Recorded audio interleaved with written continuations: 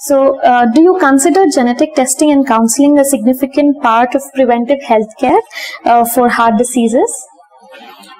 when we talk about heart attack in the basically heart diseases as a whole would encompass even other congenital heart diseases where genetic testing does play a very very important role when we're talking about congenital heart disease certain cardiomyopathies and certain uh, septal defects uh, there are they, they are a different type of heart disease.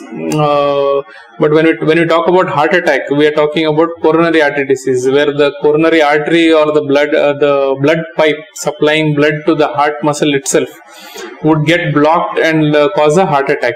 So this is uh, called coronary artery disease. So talking about coronary artery disease where where we talk about family history of heart attack in young age groups. Uh, definitely uh, myself or you would have come across such families where uh, a person who is around 35 years has had an heart attack and when we really talk about his family we observe that his brother at some 36 40 years had a heart attack or his father around 40 years of age had an heart attack or he would have died of a sudden cardiac arrest secondary to heart attack so in such cases, genetic testing becomes very important when you talk about young age heart attack. Uh, genetic testing on for uh, as a mass testing for all the population with respect to heart attack wouldn't make sense but we need to risk stratify such people. We need to see who are the actual people who need to be tested for such uh, genetic abnormalities. There are many monogenic or polygenic disorders where people are uh, made to become prone to heart attacks in younger age groups.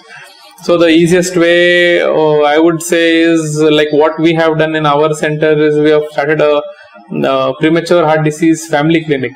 Whenever a young, uh, young or middle-aged patient with heart attack is admitted to our institute, we try to identify his family lineage or uh, we draw a pedigree chart and we try to see what is the burden of heart attack in his particular family. And wherever we find uh, some kind of a familial pattern which is arising out of this pedigree chart, we put them under something called as a family clinic. That is when we started. Uh, so first we talk about the first degree relatives. We bring in the parents or children or the siblings and we have a genetic assessment of such individuals. Uh, it, it, starts off from a pedigree chart but goes on to a uh, genome sequencing of such patients and only then we are able to find a particular uh, pattern which we are able to see in such patients.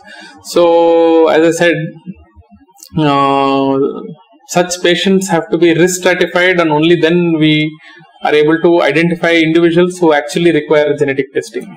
So you say that the clinicians in collaboration with genetic counselors in your clinic Correct. need uh, the, uh, can be helped uh, by for patients uh, for uh, identifying any sort of uh, familial disorder or defect. Correct.